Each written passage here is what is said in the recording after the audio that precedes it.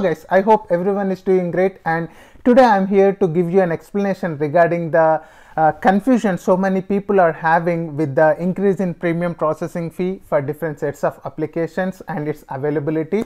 So uh, please I'll be giving you few examples that should eliminate all the confusion uh, that you guys are having. If your uh, if your scenario doesn't fall under any of these examples, please uh, feel free to list them out in the comment section and I'll be more than happy to reply there or uh, if it's a very big important I'll be more than happy to make a video. So please do watch until the end and these videos are uh, made for not, not made for immigration advices rather than like instead it is I'm trying to help you in going in the right direction. Every case is different so every case needs to be discussed uh, with your respective attorney. So let's not waste time and also uh, before we go into the details if you are here for the first time and if you have not subscribed yet please do subscribe to Khatarnak Kimmi channel for information and entertainment related videos.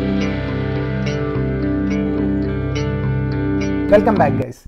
So uh, the first example that I would be providing today is uh, let's say uh, you filed for your H1B extension or maybe new H1B application and you upgraded it to the premium processing before October 19, 2020 1 9 October 19 2020 so you filed for your H1B or H1B extension and you upgraded it to the premium processing before October 19 then you will be subject to the same uh, that was uh, same fees of 1440 dollars. Yeah approximately around 1400 dollars.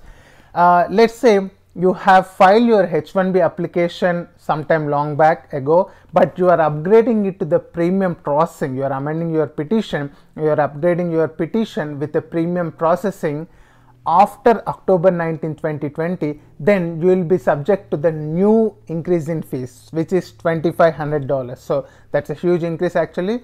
So uh, if you have filed for your H1B before, even though you have filed for your H1B before October 19, but you are uh, up, you are upgrading it to the premium processing after October 19, then you will be subject to the new increase in fee.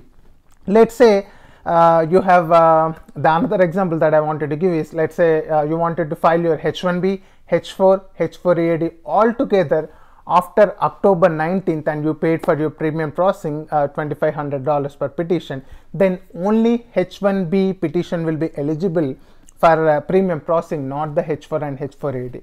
You might be saying that hey uh, you made another video where you were clearly mentioning that the premium processing is made available for H4, H4 EAD and change of status and several other dependent applications yes that is true. But still it will not be eligible for your petition right now because that rule has been passed. You know availability of premium processing for dependents like h4 uh, h4 ead or uh, uh, i485 ead or change of status from h4 to f1 yes that bill has been passed through house and senate and the president did sign the bill already. So there is no confusion regarding that.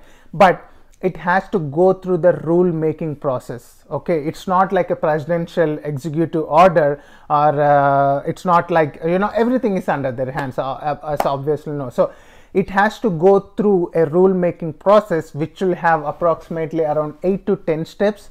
So it's going to take several months.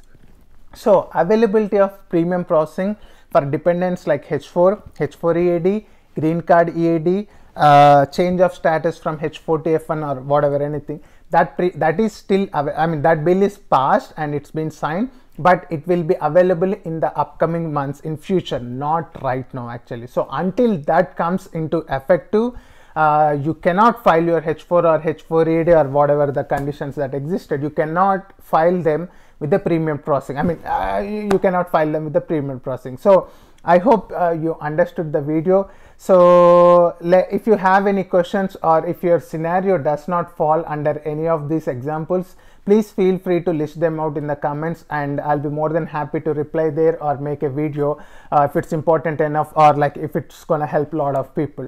So uh, that's what I wanted to uh, be more clear regarding the increase in premium processing fee and its availability availability to several other applications. I hope this video helps you. So I'll be back with another video soon. Until that time, stay home, stay safe. Bye.